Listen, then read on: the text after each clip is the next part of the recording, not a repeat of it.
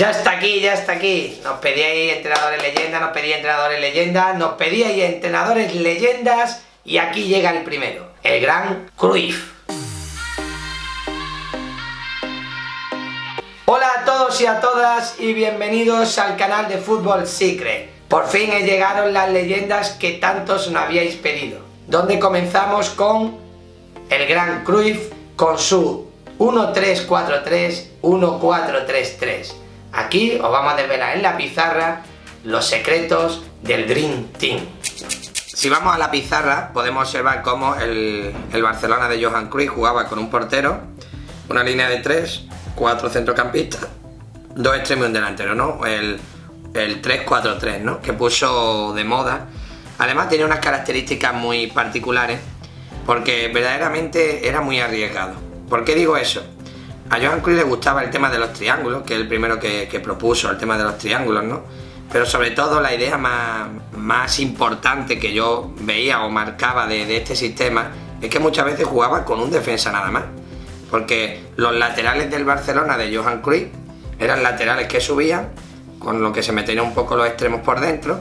Y si te das cuenta, fijaros todo el espacio que le dejaba a Ronald Koeman o a Nadal cuando jugaba, o incluso a Belardo, ¿no? Jugaba muy solo. Y aquí es donde entra en clave o entra en acción una pieza clave del sistema, que sería este, que sería dentro del 3-4-3, el jugador ayuda para sacar la pelota, ¿no? Que todo el mundo lo conoce porque era Guardiola, ¿no? Era Luis Milla en un principio y luego pasó a, a ser Guardiola.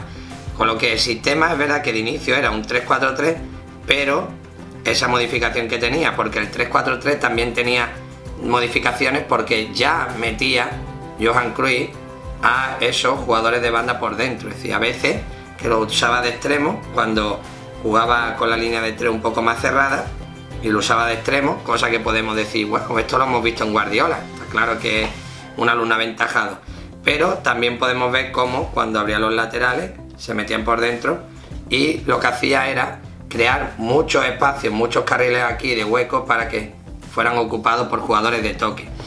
Cuando hablo de jugadores de toque, hay que decir que aquí teníamos a Guardiola, por ejemplo Eusebio, teníamos ahí también tocando Amor, Guillermo Amor, jugadores de, de no tanto recorrido, ¿no? porque Guardiola no tenía tanto recorrido, Eusebio y Amor tampoco, pero eran jugadores de un pase muy seguro, de un pase muy seguro, básico, sencillo, eh, pases que, se necesitaba para que todo esto tuviera una conexión, ¿no?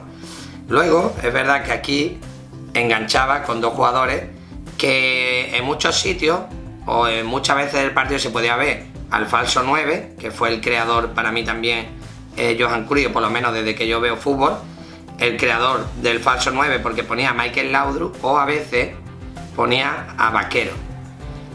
Y me dirán algunos sí, pero llegó Romario. Claro, hay que decir que, eh, también evolucionó Joan Cruyff y tenía a Salinas y a Romario, que también lo usaba como delantero, ¿no? Y luego el tema de, la, de las bandas, que hacía algunas modificaciones, como he dicho, porque a veces podía jugar con extremos, como Goicochea y, Stoico, ¿no? Jugadores pega la banda o Big pero había veces que ponía a Michael Laudrup pegaba bandas para que se metiera por dentro, hacía el movimiento hacia adentro, ¿no? Entonces ya no, no jugaba de extremo a extremo, ¿para qué?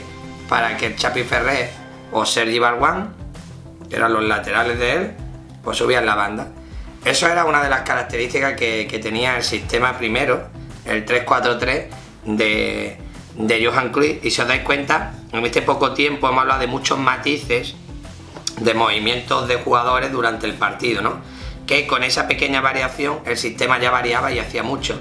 Lo primero importante como el Barcelona necesitaba tener muchos jugadores por dentro, carriles centrales, ¿para, ¿para qué? Para hacer asociaciones y convertir estos típicos de triángulos que él dice, ¿no? Los triángulos famosos de que pone en acción pues Guardiola, por ejemplo, ¿no? Esos triángulos, ¿para qué? Para montar esas asociaciones que era importante y necesario para que, el fútbol de, de, el fútbol de Johan Cruyff tuviera, tuviera sentido, ¿no? tuviera esa fluidez. Otra de las cosas también que podemos hablar es cómo ya hablaba en esos matices de la amplitud del campo. Cuando hablamos del Barcelona de Johan Cruyff, de este sistema, si metía los centrales, como he dicho, los laterales los metía como centrales, lo que hacía era a darle siempre amplitud del campo. Y este jugador estaba aquí esperando su turno para poder hacer peligro. Aquí hablamos de Risto Stoico, que todo el mundo lo conoce, es un jugador que, tenía esas cualidades. Luis Figo, cuando llegó al Barcelona en la última época también de, Johan Cruyff. Y si hablamos del Barcelona actual, pues cuando vemos, por ejemplo, a Sané pegado a la, a la a Sterling, ahora mismo, o con Pedrito, que también lo hacía, o Terry Henry, si os dais cuenta, esos matices ya también se veían ¿no? de, en el Barça actual, pero venía del fútbol de Johan Cruyff. ¿no? También decir que, Johan Cruyff era, era un, entrenador con mucha sapiencia y había partido que no podía tampoco hacer esto, entonces modificaba a lo siguiente. Ha llegado hasta este momento, ¿te está gustando el vídeo? Por favor, campanita, suscríbete, campanita, suscríbete, seguimos. Cuando el partido necesitaba un poco de más control, es decir, no tan alocado, Joan Cruyff siempre decía que mientras que ganara por un gol más valía, ¿no?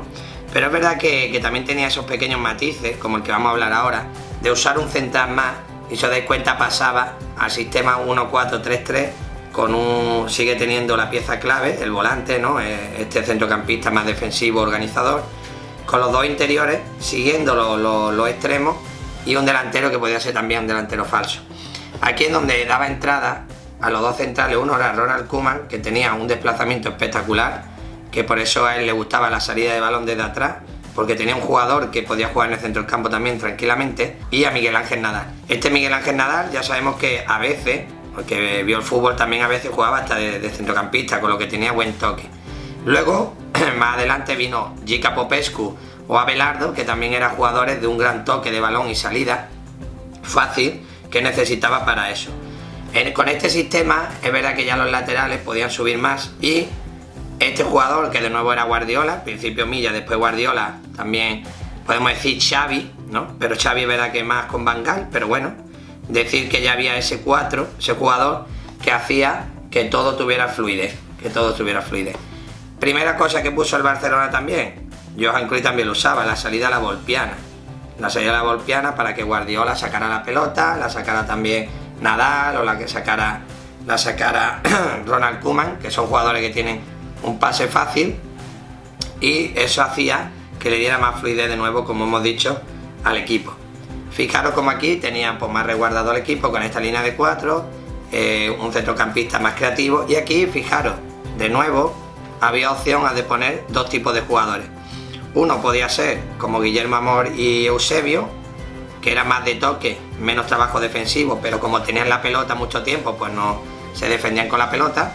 Luego jugaban también a veces con Vaquero, que era un jugador un poco más, más robusto, un jugador más de, de, camino, de carrera. Y si el partido estaba como más fluido, ponían aquí a Michael Laudro, incluso en un futuro pues puso a Iván de la Peña, ¿no? que también era un jugador más de creación, pero ese trabajo defensivo no lo tenía tanto porque había partido que Johan Cruyff sabía que la pelota iba a ser casi exclusivamente de su Barcelona. Después decir que seguía con los extremos, decía aquí de siempre, amplitud del campo.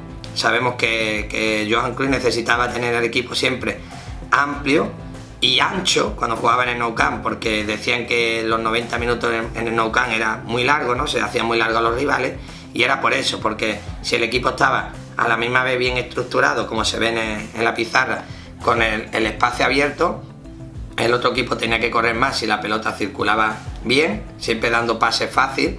Ahí viene un dicho de Johan Cruyff que ha defendido siempre.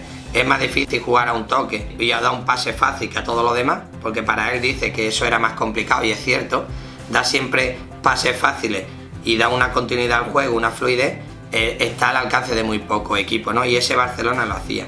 Y luego este delantero, que como ya he dicho, tanto en este sistema podía jugar con muchas variantes Julio Salinas, que jugaba más de delantero posicional, Romario, que era un delantero más jugando los espacios, a veces ponía a Michael Laudro porque lo quería de falso 9 para tener superioridad en el centro del campo, o también Vaquero, que era un falso 9, pero Vaquero tenía más llegada porque tiene un gran remate de cabeza. Entonces él ahí, ese, ese jugador lo dejaba mucho más libre en función de lo que quería para cada partido. Decir que a veces también ponía dobles laterales, porque a veces hasta Goicochea jugaba de lateral o a veces incluso de, interior o de extremo, ¿no? jugador con doble de banda. Y lo mismo pasaba en el otro lado cuando ponía a carrera, que también subía la banda y podía jugar con doble lateral también, ¿no? Entonces, lo que digo, sistema de que puso en funcionamiento Johan Cruyff, el 3-4-3 o el 4-3-3, son los dos con los que más usó. ¿Para qué? Dependiendo de lo que necesitaba en cada partido, pues si sabía que iba a tener una gran fluidez en el, en el partido, pues con el 3-4-3 o con los jugadores abiertos, sabían que iban a tener. Que el partido se ponía un poco, un poco más, como yo digo, que más disputado, pues hacía muchas veces meter a los jugadores un poquito por el centro, el falso 9 y fijaros cómo hacía un poco de superioridad y le dejaba las bandas enteras a los laterales. Con, con lo que el equipo, fijaros cómo se quedaba resguardado para poder hacer asociaciones y eso es una de las cosas que si nos vamos a la edad moderna, ¿no? como yo diría, fútbol moderno, Guardiola hizo con el tema de Messi, ¿no? Lo que hizo fue asociar muchos jugadores y por ejemplo ahí hubo veces, a veces que ponía a Alexis, a, Alexis, a Alexis Sánchez para lo mismo, para meterse por dentro. Lo que intentaba es tener superioridad y deja las bandas para los laterales o para hacer, como hemos dicho, superioridad en banda con esas triangulaciones, ¿no? Que siempre intenta en el campo ese fútbol, como vemos, de nuevo ese fútbol que ha caracterizado al Barcelona desde que llegó eh, Johan Cruyff, ese fútbol de triangulaciones que, siento decirlo, poco a poco, ahora con el fútbol moderno, no lo están haciendo, Valverde no tanto, y Luis Enrique también lo dejó un poco en entredicho.